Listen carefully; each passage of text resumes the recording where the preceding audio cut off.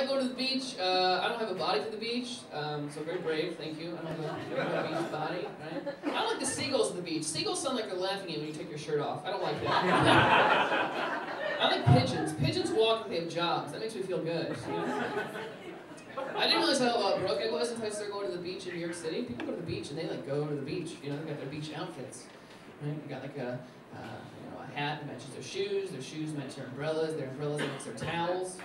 You guys know what my towel matches? My mom's towels, because that's where I it. You know what I'm saying? my towel doesn't belong at the beach. It belongs hung up like a good boy. You know what I mean? It doesn't belong at the beach. People, go, did you bring a towel? I'm like tucking it under the sand. Like, no, I'm just gonna drip dry. I'm gonna drip, drip myself dry. That's what I'm gonna do.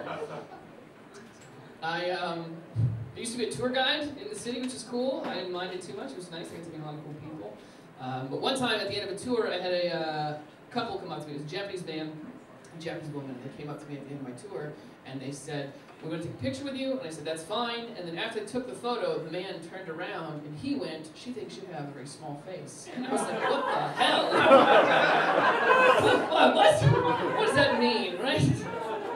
Walking around my whole life like, well, all right, you're not that good looking, but at least you have a normal sized face. Wrong, apparently. Wrong. My face was so small that someone saw it and was like, yo, we have to get a picture of this. Okay? I know it's weird, but no one will believe us. Okay? We have to. They're from Japan. All the stuff to see in New York City, they're gonna go back to Japan and be like, oh my god, Statue of Liberty, Empire State Building, the High Line. This guy, I know, right? But look closely. Look at his tiny little face. Can you believe it?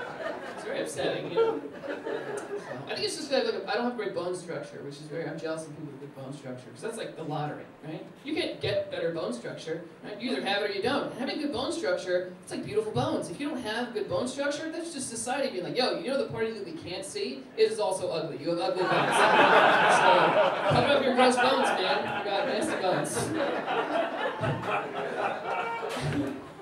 Uh, I do, I, uh, I feel like I have a serious case of nerd face. I look like a nerd. I am not a nerd. I am very cool. Um, I, uh, I'm actually a jock. I hit a home run at wiffle ball once. Thank you, thank you. Yes, thank you. Wiffle ball's great. I crushed a home run. I've been in New York for like three months. I'm like hanging out with my buddies and I hit this home run. And I'm like really proud of myself. I'm like, this is great. I just moved to New York. What a confidence building moment this will be for me.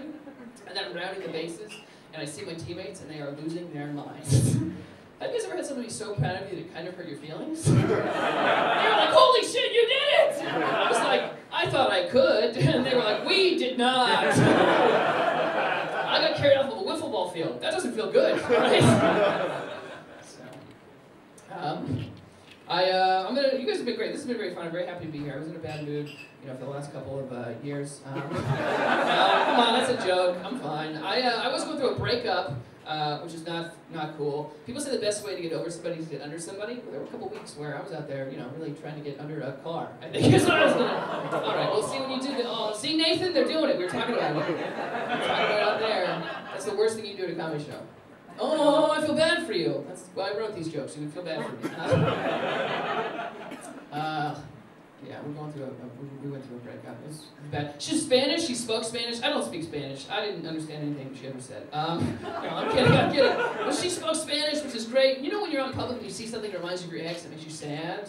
That's how I feel about any Spanish person because I hear them speak Spanish and I'm like, oh, that sounds like something she would probably say. I don't know. I can't listen to Oye Como Va anymore. It's very hard, you know. Shakira off the table. Can't do it. It's too much. Um, I, uh, I, uh, I'll leave you guys on, on this. Um, I, um, I, I'm, I, I, I, like doing comedy. Uh, I'm not much of an actor. I did audition to be on uh, Westworld. I did do that, the auditioning. Thank you. I love Westworld, right? I really wanted to be a horse on that show. Look at the horses, right? Next time you're watching it, Game of Thrones, anytime a horse is on TV, they don't know they're actors, okay?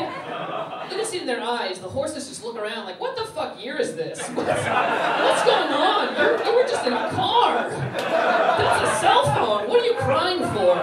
Get off my back, right? It's very funny. All right, well. Thank you. She's putting me so. My name's Scott Bachus. Thank you, guys.